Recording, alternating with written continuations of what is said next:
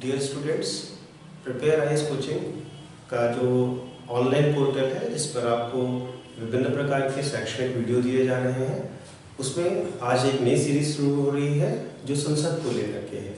संसद के बारे में यह जो सीरीज़ है, ये कई सारी सेक्शन में आपको डिवाइड करके दी जाएगी। आज इसका पहला पार्ट आपको उपलब्ध कराया जा रहा है। संसद, यानी कि पार्लियामेंट एक बहुत ही इम्पोर्टेंट ऑर्गन है एडमिनिस्ट्रेशन का गवर्नेंस का, और एक बहुत महत्वपूर्ण आइडियोलॉजी है। वस्तुतः आपको ये समझना होगा कि किस प्रकार से इस प्रकार की सोच का उदय हुआ। और ये समझने के लिए हमें थोड़ा सा प्राचीन लेवल पर जाकर के प्राचीन स्तर पर और प्राचीन इतिहास में जाकर के सोचना होगा। तो अगर आपको ध्यान हो तो हमारे यहाँ ही नहीं, पूरी दुनिया में जो शासन की एक व्यवस्था थी, वो राज, राजकीय व्यवस्था थी, जहाँ पर राजा, महाराजा वगैरह पाए जाते ऐसी स्थितियों में जो राजा होते थे, वो ज़्यादातर हेरिडेटरी होते थे, या फिर वे अपने जो शक्तिशाली सैन्य शासक होते थे, वो राजा को मार के शासक बन जाते थे। यहाँ पर जनता के प्रतिनिधित्व का कोई भी प्रश्न तब तक नहीं उठता था। वस्तुतः यही चीज़ें महत्वपूर्ण होती चली गई। अलग अलग समय में अलग अलग समुदायों में विश्व भर में इस सोच के विरुद्ध अनेक, अनेकानेक प्रकार के विचार आगे आते चले गए। एंड आप अगर ध्यान देंगे तो आप पाएँगे कि यही वो चीज़ है जो कहीं ना कहीं जनता को करप्शन माल एडमिनिस्ट्रेशन और इन सब समस्याओं को दो चार होने के लिए मजबूर करती थी। तो धीरे धीरे इसको लेकर के जनता में जागरूकता बढ़ना शुरू हुई और इस चीज़ के कारण ही एक ऐसे फॉर्म ऑफ़ गवर्नमेंट को लेकर के आइडियोलॉजी और थॉट डेवलप होने लगा, जहाँ पर सरकार वस्तुतः जनता के द्वारा प्रतिनिधित्व प्राप्त हो और वो जनता के प्रति जवाबदेह भी हो। तो लोकतंत्र का उदय भी इसी विचारधारा के अंतर्गत होता है। और लोकतंत्र को चलाया कैसे जाए, लोकतंत्र का रियल इम्प्लीमेंटेशन ऑन ग्राउंड कैसे हो, इसके लिए ज़रूरी था कि हम एक ऐसा मैकेनिज्म डेवलप करें, एक ऐसी विचारधारा, एक ऐसी प्रक्रिया डेवलप करें, जो कि वस्तुतः एडमिनिस्ट्रेशन को पब्लिक तक डिलीवर करे और पब्लिक के प्रति रिस्पॉन्सिबल हो। एंड नो डाउट पार्लियामेंट वो ऐसा एक मीडियम बन के सामने आया। अगर हम ध्यान से देखें तो हमें अंदाज़ा होगा कि एंशियंट इंडिया में, अगर आप एंशियंट इंडिया में पढ़ते हैं तो आप पाते हैं कि कुछ ऐसी संस्थाओं का वर्णन है, जैसे सभा और समिति। तो ये एक तरीके से पॉपुलर फॉर्म ऑफ़ गवर्नमेंट है, लेकिन ये ऋग्वैदिक एरा में प्रोमिनेंट है। उसके बाद धीरे धीरे करके इनका अस्तित्व कम और समाप्त होता चला जाता है। लेकिन अगर हम पार्लियामेंट्री फॉर्म के डेवलपमेंट की बात करें तो एंशियंट एज में तो काफ़ी सारी जगहों पर अलग अलग तरीके के फॉर्म्स ऐसी असेंबली के फॉर्म्स मिलेंगे आपको अलग अलग शासन व्यवस्था में। परंतु वा, वास्तविक विकास जो शुरू होता है वो मिडेवल एरा से शुरू होता है जो जिसे हम मध्य युग कह सकते हैं। मध्य युग में अगर हम ध्यान से देखें तो हम पाते हैं कि मध्य युग में यूरोप में वस्तुतः स्पेन नीदरलैंड्स और बेल्जियम में इसके कुछ ट्रेसेस मिलते हैं जहाँ पर ऐसी काउंसिल्स बना करके गवर्नमेंट का मॉडल डेवलप करने का प्रयास किया जाता है। लेकिन यह बहुत ही सिस्टमेटिक नहीं था और बहुत ही ज़्यादा समय तक परसिस्ट नहीं करता। इसके बाद जो हमारा अगला चरण आता है, जहाँ पर modern form of parliamentary system develop होता है तो इस डेवलपमेंट का श्रेय वस्तुतः दो बड़ी कंट्रियों में जाता है। एक है ब्रिटेन और दूसरा स्वीडन। ध्यान रखिएगा कि ये सारे जो मॉडर्न डेवलपमेंट्स हैं, ये सारे यूरोप में हो रहे हैं। और यूरोप ही वो जगह है जहाँ से आधुनिकता का शुरुआत मानते हैं। जहाँ से हम लोग नए युग की शुरुआत भी मानते हैं। तो अगर हम ब्रिटिश मॉडल की बात करें, क्योंकि ब्रिटेन ही वो मॉडल है जो लगभग पूरी दुनिया में प्रोमिनेंटली प्रयोग किया जाता है तो ब्रिटिश मॉडल जो संसद का है, पार्लियामेंट का है, उसके लिए हम दो तीन बड़ी घटनाओं को जिम्मेदार जानते हैं, मानते हैं, जिसमें से एक है मैग्ना कार्टा। मैग्ना कार्टा जिस पर वहाँ के किंग जेम्स ने साइन किया था, और मैग्ना कार्टा से वहाँ के लोगों को अधिकार मिले वहाँ की रिप्रेजेंटेटिव बॉडी को अधिकार मिले इनफैक्ट इसके सिवा जो वहाँ का वेस्ट मिनिस्टर मॉडल है, जिसको लगभग हर कॉमनवेल्थ कंट्री ने अडॉप्ट किया है, जो हमारा पार्लियामेंट्री फॉर्म ऑफ़ गवर्नमेंट है, वो भी वेस्ट मिनिस्टर मॉडल पर ही आधारित है। इसके बाद हम लोग आ जाते हैं, अगर हम बात करें इंडिया में ये किस प्रकार से मॉडर्न एज में आया तो ब्रिटिश एरा में ही, ब्रिटिश शासनकाल में ही सबसे पहले 1919 के एक्ट से इसको स्टेट लेवल पर, यानी कि प्रोविंशियल लेवल पर बाई कैमरल सिस्टम स्टार्ट किया गया था। द्विशतनात्मक व्यवस्था स्टार्ट की गई थी। हालाँकि यूनियन लेवल पर, यानी कि सेंट्रल लेवल पर 1935 के गवर्नमेंट ऑफ़ इंडिया एक्ट से इसको शुरू किया गया। यानी कि भारत में द्विसदनात्मक व्यवस्था की शुरुआत केंद्रीय स्तर पर अगर हम देखें तो सबसे पहले 1935 के एक्ट से होती है, जो भारत सरकार अधिनियम 1935 के रूप में जाना जाता है। ये है इसका बेसिक हिस्ट्री जहाँ से हम शुरुआत से देखना चाहें और समझना चाहें कि कैसे इसका थॉट डेवलप हुआ और किस प्रकार से है। अब हम देखते हैं कि ये किस प्रकार से गवर्नमेंट सिस्टम में काम करती है। तो अगर हम ब्रॉडली पूरी दुनिया के डेमोक्रेटिक एडमिनिस्ट्रेटिव सेटअप को बांटना चाहें तो दो भागों में बांट सकते हैं। एक है पार्लियामेंट्री फॉर्म ऑफ़ गवर्नमेंट और दूसरा प्रेसिडेंशियल फॉर्म ऑफ़ गवर्नमेंट एक है राष्ट्रपतीय प्रकार की सरकार और दूसरा है प्रधानमंत्री प्रकार की सरकार. जो राष्ट्रपतीय प्रकार की सरकार है, जैसा कि आप यूएसए में देखते हैं यूएसए का एक क्लासिकल एग्ज़ाम्पल है. और जो प्रधानमंत्री प्रकार की सरकार है, जिसमें बेसिकली हम मंत्रिमंडलीय सरकार जिसको कह सकते हैं, या वेस्ट मिनिस्टर मॉडल कह सकते हैं, ये आपको ब्रिटेन में, इंडिया में इन सब जगहों पर बहुत प्रोमिनेंटली मिलेगी. इन दोनों में कुछ बड़े अंतर हैं। पहला बड़ा अंतर जो इन दोनों में है, वो ये है कि जो पार्लियामेंट्री फॉर्म ऑफ़ गवर्नमेंट होती है, उसमें हेड ऑफ़ द गवर्नमेंट और हेड ऑफ़ द स्टेट ये दोनों अलग होते हैं। यानी कि जो हेड ऑफ़ द स्टेट है, जो राज्य प्रमुख है और जो सरकार का वास्तविक प्रमुख है, इन दोनों में अंतर होगा, ये दो डिफरेंट लोग होंगे। जबकि राष्ट्रपतीय प्रकार की सरकार में, यानी कि प्रेसिडेंशियल फॉर्म ऑफ़ गवर्नमेंट में, ये दोनों सेम होंगे। इन दोनों को एक जैसा ही, एक ही व्यक्ति के पास ये दोनों पावर होंगे। अगर आप इस चीज़ को समझना चाहें तो भारत का और अमेरिका का एग्ज़ाम्पल लेकर के आप इसको बेहतर समझ सकते हैं। भारत में प्रधानमंत्री, भारत में सरकार का तो प्रमुख है, लेकिन भारत का प्रमुख नहीं। ठीक है, वास्तविक प्रमुख प्रधानमंत्री है, लेकिन भारत का हेड ऑफ़ द स्टेट जिसको हम कहते हैं, वो भारत के राष्ट्रपति हैं। लेकिन वास्तविक सत्ता वास्तव में प्रधानमंत्री के पास होती है, जिनको हम डिफैक्टो रूलर भी कहते हैं, और जबकि डिजोर डिजोर अथॉरिटी जो है, वो प्रेसिडेंट के पास है। अगर हम अमेरिकन मॉडल को ध्यान से देखें तो हम पाएँगे कि डोनाल्ड ट्रंप जो इस समय जो इस समय अमेरिका के राष्ट्रपति हैं, उनके पास दोनों पावर्स हैं। वो हेड ऑफ़ द स्टेट भी हैं और हेड ऑफ़ द गवर्नमेंट भी है। यानी राज्य प्रमुख भी हैं, राष्ट्र प्रमुख भी हैं और सरकार के प्रमुख तो है ही हैं। तो ये एक बड़ा अंतर होता है इन दोनों में। और दूसरी एक बहुत महत्वपूर्ण फीचर होती है एडमिनिस्ट्रेशन की और वो होती है separation of power separation of power को समझने के लिए कुछ यूँ समझिए कि जो सरकार होती है, जो सरकारी व्यवस्था होती है, उसमें तीन प्रमुख अंग होते हैं एग्जीक्यूटिव लेजिस्लेचर और जुडिशरी जुडिशरी तो साइड में रखिए तीनों से अभी हम इस पर चर्चा नहीं कर रहे हैं। जो एग्जीक्यूटिव और लेजिस्लेचर है, वो स्ट्रिक्टली सेपरेट हों। ये प्रेसिडेंशियल फॉर्म ऑफ़ गवर्नमेंट में होगा। जो कैबिनेट फॉर्म ऑफ़ गवर्नमेंट है या जो वेस्ट मिनिस्टर मॉडल है, उसमें एग्जीक्यूटिव और लेजिस्लेचर कंप्लीटली सेपरेट नहीं होंगे। इस बात को समझने के लिए आप भारत का एग्ज़ाम्पल ले सकते हैं, जो भारत में प्रधानमंत्री और मंत्रिपरिषद है, वो संसद में बैठती है और संसद के लिए रिस्पॉन्सिबल है। और संसद वो ऑर्गन है जिसको हम लेजिस्लेचर यानी कि विधायिका मानते हैं। तो विधायिका में ही कार्यपालिका है और जो विधायिका का एक अंग है, वो राष्ट्रपति भी है। तो इस प्रकार से और राष्ट्रपति कार्यपालिका का प्रमुख भी है। तो इस चीज़ को आप इस प्रकार से समझिए कि हमारे यहाँ सेपरेशन ऑफ़ पावर उतना स्ट्रिक्ट नहीं है, जितना स्ट्रिक्ट यूएसए में है। तो इस प्रकार से एक कंप्लीट सेपरेशन ऑफ़ पावर की भावना इसमें नहीं होती है, जो कैबिनेट फॉर्म ऑफ़ गवर्नमेंट होती है या वेस्ट मिनिस्टर मॉडल है। अब हम भारत की संसद के बारे में चर्चा स्टार्ट करेंगे। और ये इस लेक्चर की पहली सीरीज़ में हम आपको बताना चाहेंगे कि भारत में संसद बनती कैसे है, भारतीय संसद का ढांचा कैसा है, भारतीय संसद को किन किन अनुच्छेदों के अंतर्गत सृजित किया गया है, और अभी तक उसमें क्या मेंबरशिप है और किस प्रकार से वे चुनाव कराए जाते हैं। ठीक है? तो सबसे पहले भारतीय संसद इंडियन पार्लियामेंट इंडियन पार्लियामेंट के तीन भाग ठीक है? Three components first one is president second one is council of states and third one is house of people प्रधानमंत्री, राज्यों की परिषद जिसको हम अपर हाउस या राज्यसभा भी कहते हैं और लोअर हाउस जिसको हम लोकसभा भी कहते हैं।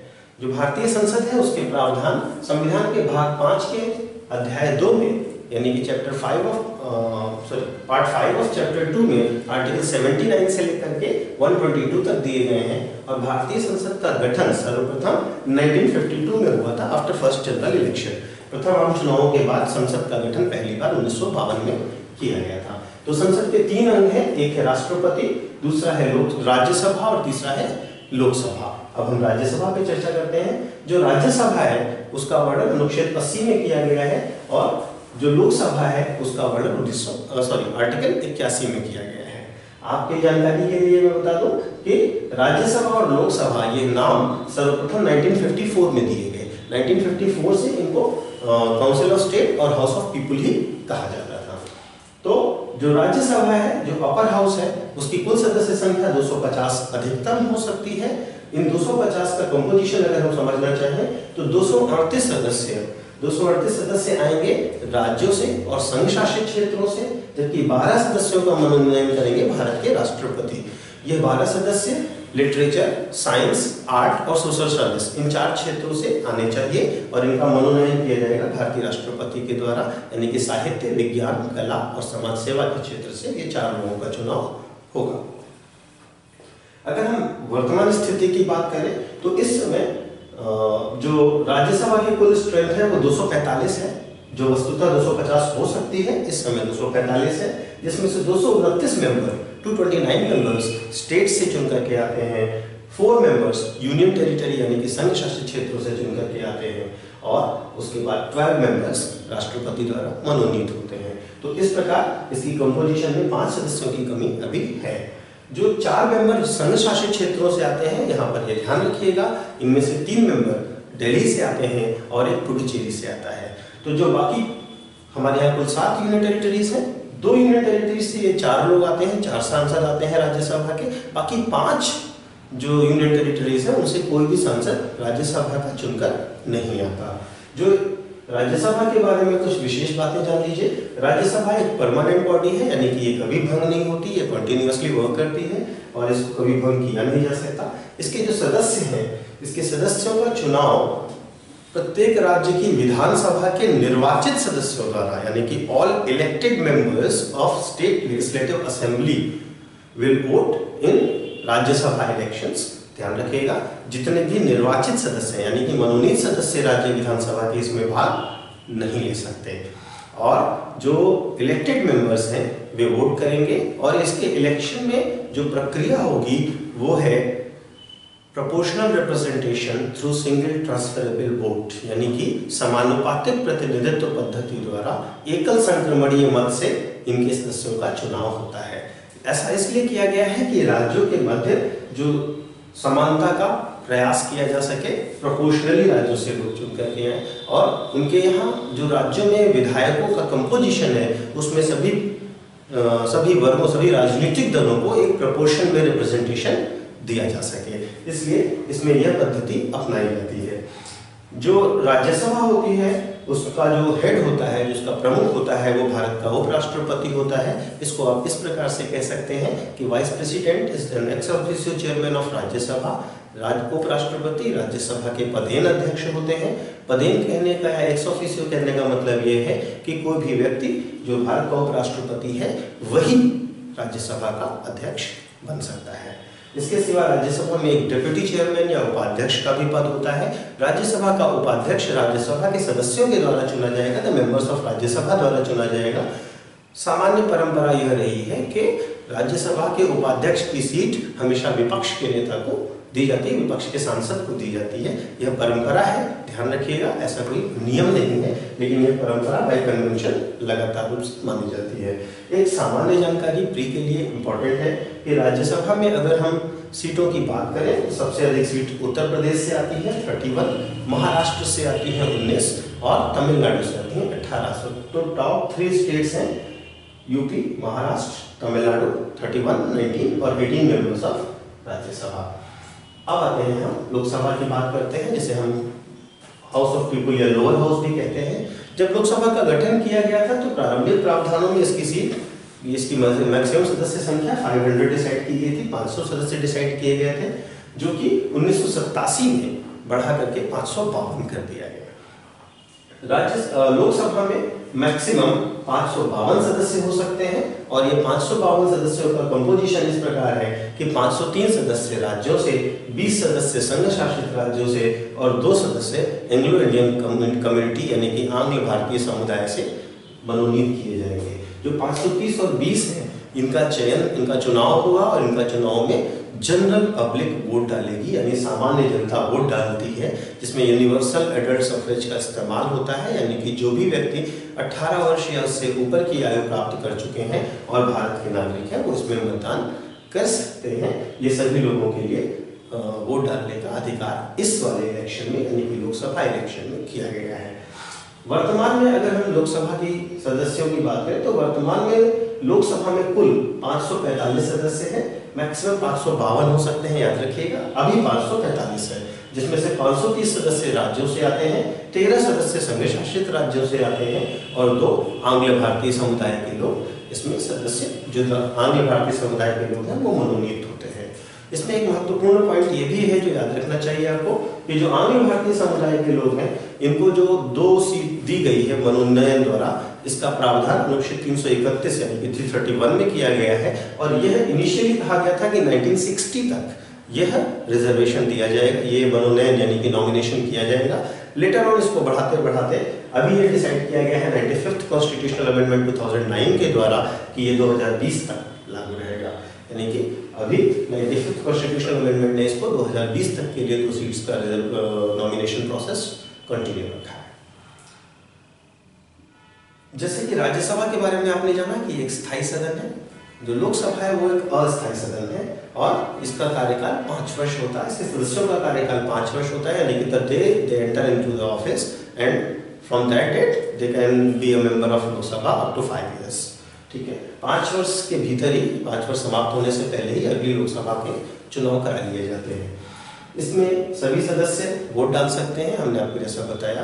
पहले ये जो वोटिंग एज थी, वो 21 इयर्स थी 21 साल थी, इसको बाद में घटा करके 18 साल कर दिया गया और ये घटा घटा करके 18 साल करने का कार्य इकसठवें संविधान संशोधन अधिनियम उन्नीस सौ अट्ठासी के द्वारा किया गया, यानी कि सिक्सटी फ़र्स्ट कॉन्स्टिट्यूशनल अमेंडमेंट ने वोटिंग एज घटा करके 21 से 18 कर दी इसके बाद इसमें जो सीट्स हैं, जो राज्यसभा के बारे में तो आपको बताया कि राज्यसभा की जो भी सीट्स हैं, वो आपको स्टेट्स के थ्रू मिलेंगी। जबकि लोकसभा की जो सीट्स हैं, उसके लिए हम इलेक्शन कॉन्स्टिट्यूएंसीज देखते हैं। यानी कि लोकसभा क्षेत्र या निर्वाचन क्षेत्र देखते हैं। और ये निर्वाचन क्षेत्रों का गठन कैसे होगा, इसके लिए आर्टिकल 81 का क्लॉज टू कहता है कि जैसे पॉपुलेशन के हिसाब से इनका एलोकेशन करने की कोशिश की जाएगी और कोशिश यह भी की जाएगी कि सभी कॉन्स्टिट्यूएंसीज में पॉपुलेशन को लगभग बराबर रखा जाए। लेकिन, और इसके पर्पस के लिए फिर पार्लियामेंट ने डिलिमिटेशन कमीशन का गठन किया, संसद परिसीमन आयोग का गठन करती है डिलिमिटेशन कमीशन का गठन करती है, और प्रावधान यह किया गया था कि प्रत्येक जनगणना के बाद एक डिलिमिटेशन कमीशन बनाया जाएगा, एक डिलिमिटेशन आयोग बनाया जाएगा परिसीमन आयोग बनाया जाएगा जो कि जनसंख्या की वृद्धि के अनुपात में संसदीय सीटों में वृद्धि और उसके डिस्ट्रीब्यूशन का कार्य करेगा। अभी तक भारत में चार बार डिलिमिटेशन कमीशन का गठन किया गया है 1952, 62, 72 और 2002 में। यानी कि 51 की जनगणना के बाद 61 की जनगणना के बाद 71 की जनगणना के बाद और उसके बाद 2000 वन की जनगणना के बाद केवल चार बार जो लास्ट डिलिमिटेशन कमीशन यानी कि परिसीमन आयोग बना था, उसके अध्यक्ष थे जस्टिस कुलदीप सिंह। और वास्तव में इसमें यह प्रावधान किया गया कि जो सीट्स हैं, उनके नंबर में अब इंक्रीज कर पाना संभव नहीं है। सर्वप्रथम बयालीसवें संविधान संशोधन अधिनियम, यानी कि forty second constitutional amendment act ने यह कहा था कि 2000 वर्ष 2000 तक 1971 की जनगणना के आधार पर ही जो सीट्स हैं और जो कॉन्स्टिट्यूएंसीज हैं, वो एग्जैक्टली सेम रहेंगी। यानी कि 97 की जनगणना के आधार पर जो 72 के परिसीमन आयोग ने जितनी सीट्स और जो एलोकेशन ऑफ़ सीट्स किया था, वैसे ही कंटिन्यू रहेगा 2000 वर्ष 2000 तक। लेकिन चौरासीवें संविधान संशोधन ने ये इसमें चेंज किया और कहा कि अब जो नंबर ऑफ़ सीट्स हैं, वो 2026 तक नहीं बढ़ेंगी, लेकिन जनसंख्या का जो डिस्ट्रीब्यूशन इन कॉन्स्टिट्यूएंसीज है, यानी कि जो निर्वाचन क्षेत्रों में जनसंख्या का वितरण है, वो 2001 की जनगणना के आधार पर किया जाएगा, यानी कि 2026 तक। अब, लोकसभा की सीट्स के नंबर में कोई चेंज नहीं किया जाएगा, और 2001 की जनगणना के आधार पर उनको पुनर्वितरित किया जाएगा। ठीक है? अब इसके बाद एक और छोटा सा महत्वपूर्ण पॉइंट है, लोकसभा में रिजर्वेशन लोकसभा में एससी और एसटी के रिजर्वेशन का प्रावधान है। एससी और एसटी यानी कि अनुसूचित जाति और अनुसूचित जनजाति का। और यह प्रावधान अनुच्छेद 330 के अंतर्गत किया गया है। पंचानवे संविधान संशोधन अधिनियम 2009 ने कहा है कि यह आरक्षण 2020 तक कंटिन्यू रहेगा।